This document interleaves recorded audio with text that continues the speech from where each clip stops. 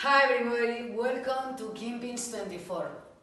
Firstly, my best desires for all denim family in these dif- difficult uh, moments. Having, having said that, it's a pleasure to share with all of you a part of my house, especially this beautiful blue corner. Sometimes when I'm here, I'm reading, thinking, creating, or just be calm. Also, I would like to say something else about myself. I was working several years in fashion, and the last eight years was in denim. That period was fantastic for me because I discovered the indigo. Always I, have a, I had a dream. It was to dedicate myself fully to the art, especially painting. Two years ago, I decided to start a new stage in my life, and for me, the indigo was the perfect connection. Create a new history to add value with my bridge between indigo and art. My series of artworks is called Indigo World Collection. I'm honoring the history of indigo dye from leaf harvest to dyeing process used in different cultures and countries. In addition, I have developed a new contemporary concept, such as using details like coins pocket, zipper buttons, or garments, with different composition and thus show the artistic grained is the denim. If you like, I would like to go to part of my studio and show these artworks. Let's go!